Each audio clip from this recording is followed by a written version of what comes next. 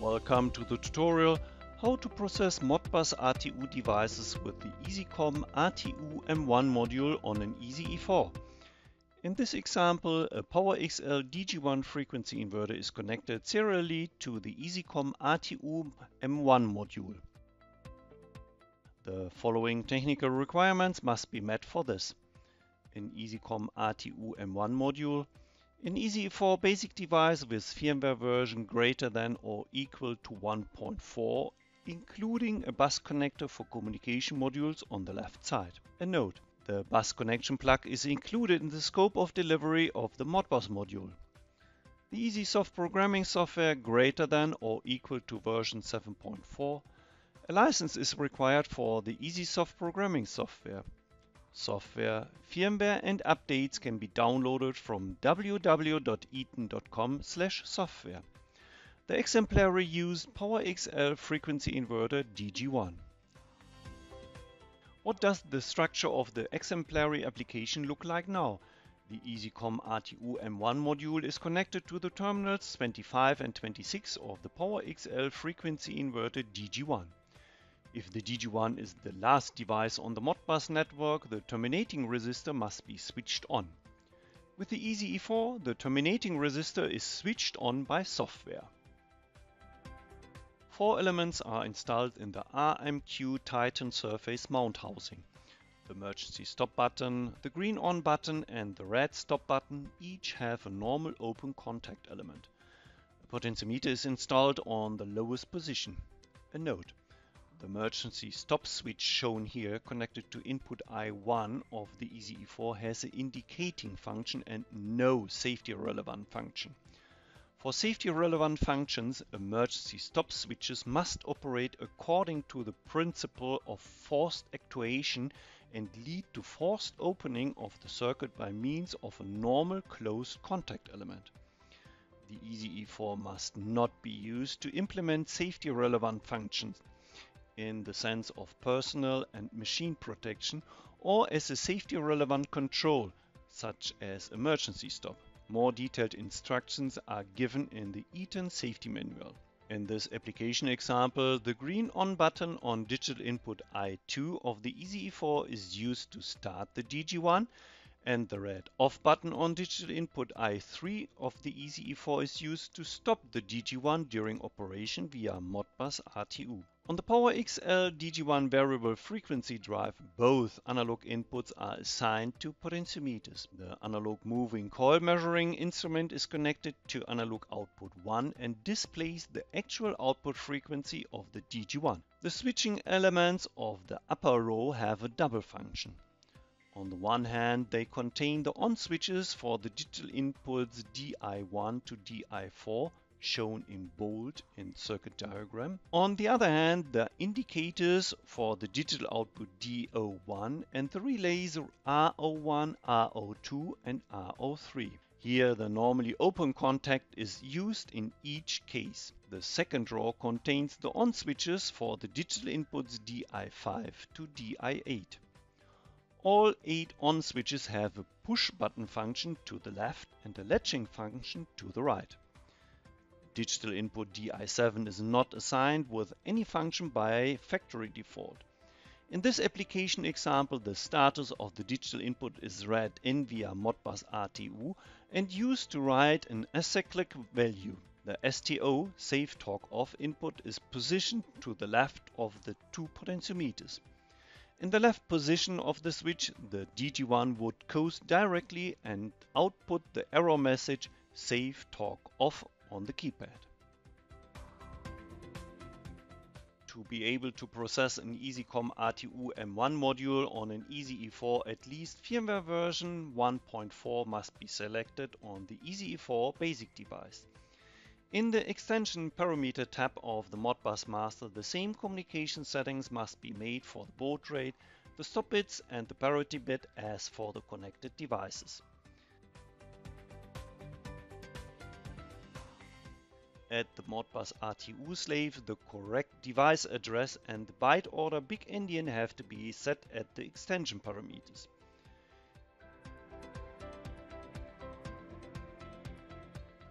The function codes FC3, FC4 and FC16 required for this project for serial communication are to be entered in the cyclic data tab. In the tab Assign operands, the Modbus registers operands are assigned. A note.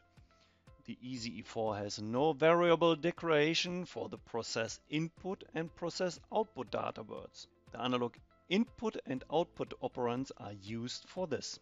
As an example, in the analog input subregister, register 2102 is assigned to operand IA05, which corresponds to the actual speed of the connected drive. IA06 is the status word. IA07 corresponds to the DC link voltage. This operand is not used in this program. IA08 is used to read the status of digital inputs DI7 and DI8. In the analog output subregister QA05 assigns the control word to register 2000 and QA06 to the speed reference. Register uh, 2006 and 2007 are not used in this project. A note, both the processed input data word registers, analog inputs on the EasyE4, and the process output data word registers, analog outputs on the EasyE4, are set with an offset of 1 for communication between the EasyE4 and the DG1 frequency inverter. For example, the control word in the EasyE4 is registered 2000. In the DG1 is registered 2001. The program of the EasyE4 is explained below. In network 1 the control word is assigned to marker word 1. In network 2 the status word is assigned to marker word 2.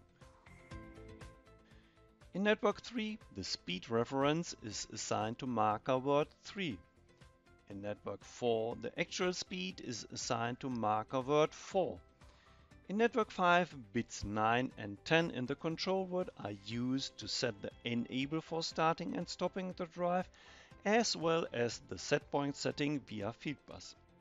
In network 6, marker bit 01 is set for the start via digital hardware input 2, which corresponds to the first bit of the control word. In network 7, marker bit 01 is reset again for the stop via digital hardware input 3.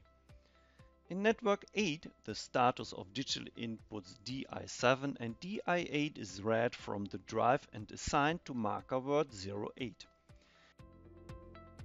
In network 9, the corresponding bit marker 113 from marker word 08 for the status of digital input DI7 is used by the drive to trigger the module for acyclic setting of the fixed frequency. In network 10, the display change between the different display modules is triggered via the right and left key P03 and P01 and temporarily stored in marker word 10. In network 11, counter CP01 from network 10 is reset to 0 when 65,535 is reached in marker word 10. In the following networks, the marker bits 145 and 146 from marker word 10 are evaluated. If marker bits 145 and 146 are false in network 12, the text display 01 is selected. If only marker 145 is true, the text display 02 is selected in network 13. If only marker 146 is true, the text display 03 is selected in network 14. The control word is display in text display 01. The Alt key is used to switch to input mode and the cursor keys are used to change the reference or the direction of rotation of the DG1 frequency inverter. On the left, the DG1 is started and stopped via the run bit from the control word.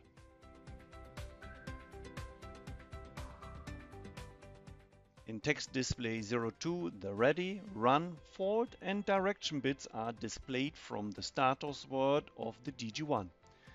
Below this, the actual output frequency is displayed in percentage and scaled in hertz. In text display 03, the fixed frequency 1 scaled to hertz is entered via acyclic communication. This value is then written from digital input DI7 of the DG1 frequency inverter via rising edge of the read-in status. Let's move on to the demonstration of the application example. On the external remote touch display EasyRTD, the text display 01 for the control word is displayed because both marker bits 145 and 146 have the state false. On the DG1 frequency inverter, the sources for local and remote mode have been changed. In local mode, the terminal was selected as the common source instead of the keypad and analog input AI1 was selected as the reference in order to be able to control the DG1 detached from field bus operation for maintenance work, for example. Remote mode, the field bus is the source for the control commands and for the reference.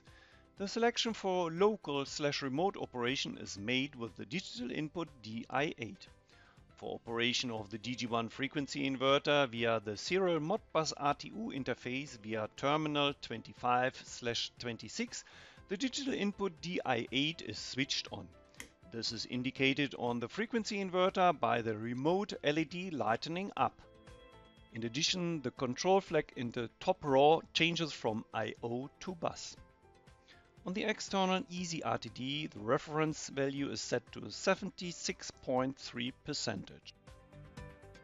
The DG1 variable frequency drive is started via the green Start button. This sets marker bit 01 in network 6 of the EasyE4 program. A change is made to text display 02 for the status word via the right P key. An external fault is generated via digital input DI3 of the frequency inverter. The red fault LED lights up on the frequency inverter and the left status flag changes from run to NRD for not ready. The error display, external error, is flashing in plain text. On the external EasyRTD, the ready bit goes to false and the fault bit becomes true. When the output frequency reaches zero, the run bit becomes also fault. The reset of the external fault takes place via the digital input DI4. Since the frequency inverter is level controlled, the DG1 accelerates directly to the given frequency of 38.2 Hz. In the status word, the fault bit is cleared with the reset and both the ready bit and the run bit are getting true. The left P key is used to switch back to text display 01 for the control word. Press the Alt key and the left P key to access marker bit 02. The bit status for the change of direction of rotation is changed by pressing the upper P key and then OK.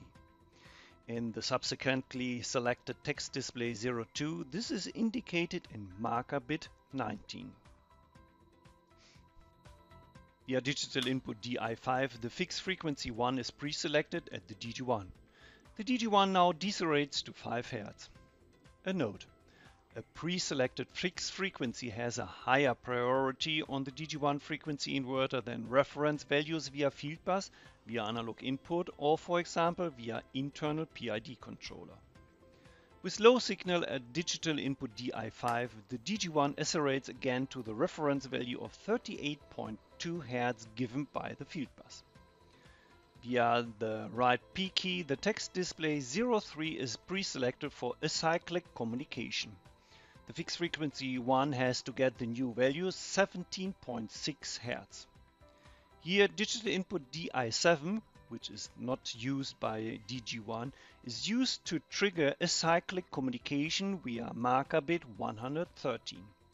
The left P key is used to switch back to text display 02 for the status word.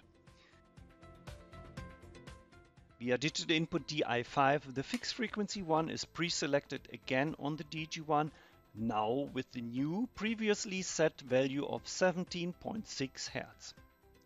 With the low signal at digital input DI5, the DG1 accelerates again to the reference value of 38.2 Hz given by the field bus. Pressing the Alt key and the left P key again accesses marker bit 02, which causes a renewed change in the direction of rotation.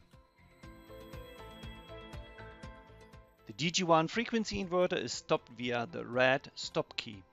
This resets marker bit 01 in network 7 of the EasyE4 program. Finally, the change from fieldbus operation to local operation is made by a low signal at digital input DI8. Thank you for your attention.